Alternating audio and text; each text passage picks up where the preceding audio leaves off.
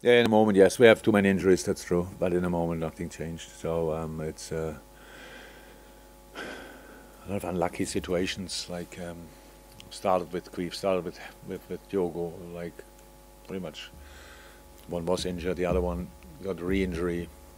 It Was not 100% clear as well when he you know there's no criticism because you make a story of everything what I say but it's just it's like this he's with the national team both of them are with the national team there's a diagnosis.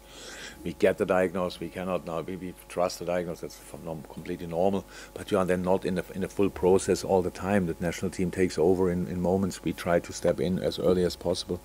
So but for Diogo man.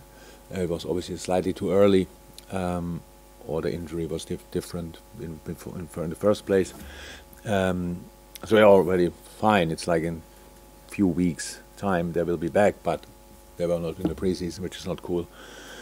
Um, then Costas, obviously unlucky in a training situation, um, but I saw him now. He was out on the pitch, he might be, in his opinion anyway, might be ready to train next week, which is helpful. Um, Ibou in a in a, in a in a challenge in the game against Strasbourg. Um, what happened there? We have to, we have to see how long it will take. But he's out for a while, so these kind of things. It's it's and I forgot now 100 percent.